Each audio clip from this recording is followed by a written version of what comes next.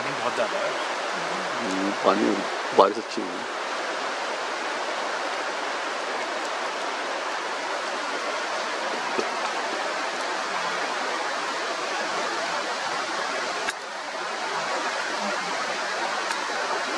क्योंकि हाथी भी है।